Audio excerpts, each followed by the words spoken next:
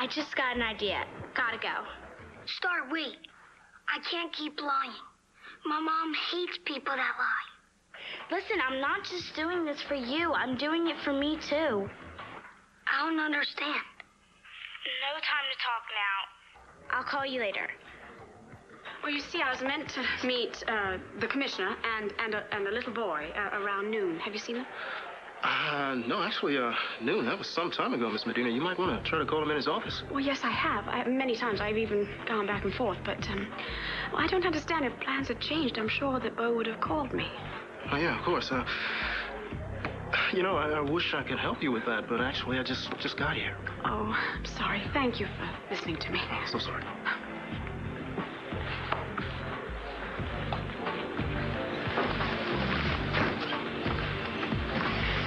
Don't ask the waiters here anything. They're total idiots. Hi, Stella. I'm looking for Bo and Matthew. I heard they were here a long time ago. Oh, you saw them? Yeah, I heard they were going to a baseball game. Yes, yes, I was going to join them. It was all planned. Really? Weird. What's weird? Well, I heard him invite Nora. Who? Who did? Bo did? Yeah. I mean, she sounded really excited and they all left together. But like I said, it was a really long time ago. Mm-hmm.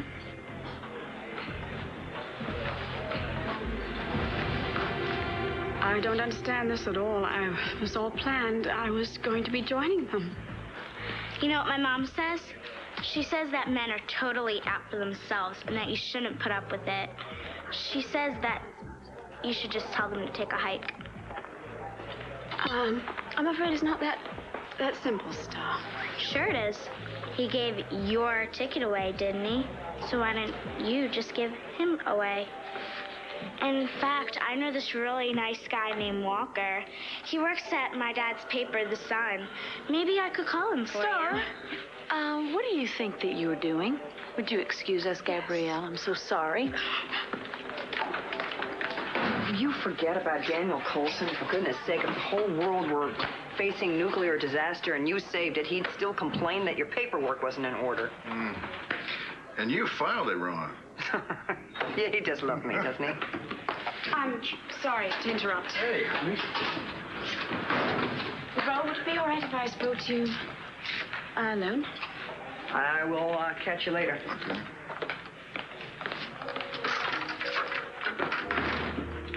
You do it to me?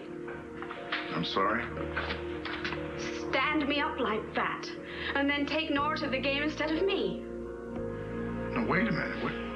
You're the one that stood me up. This is some crazy mix-up. That's it's nobody's fault. Look, when I thought that you had to cancel, Nora happened to be there. Matthew wanted her to go to the game, so what was I supposed to say? I you know didn't what? But. I never would have said yes if you'd have been able to be there. You know? Buchanan. Yeah, yeah, I'll be right there. I'm sorry, I'll be back in a minute, okay? I'll, put it, I'll just put it on your desk. Yeah. Okay. Hi. How could you? How could I, what? You knew damn well how much it meant to me to go to that game with Bo and Matthew. God, Nora. How could you? You're blaming me? Who else knew that I was going to that game? Okay, Gabrielle, all I know is that Bo got a message. You couldn't make it to the game. No I reason, did not no send explanation. Bo a message.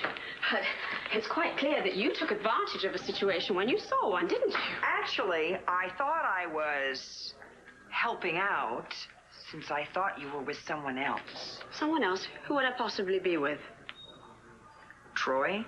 Troy. Why would I be with Troy? Gabrielle, I was at the palace. I heard you lie to Bo, saying that you dined alone. I did dine alone. Gabrielle, you didn't dine alone, because I was at the palace and saw you. And I talked to Troy. He told me he'd had dinner with you. All right. Yes, yes, Troy did come and sit down. The food was already there, and Bo had last minute canceled. I, eh, I, I don't even know why I'm explaining this to you because it doesn't matter because I could care less about Troy. Bo is the only thing that I care about in this entire world.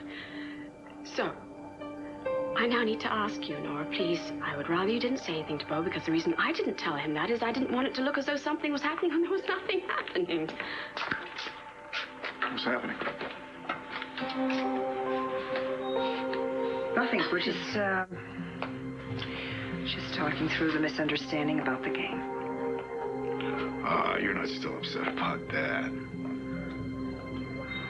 No. Not anymore.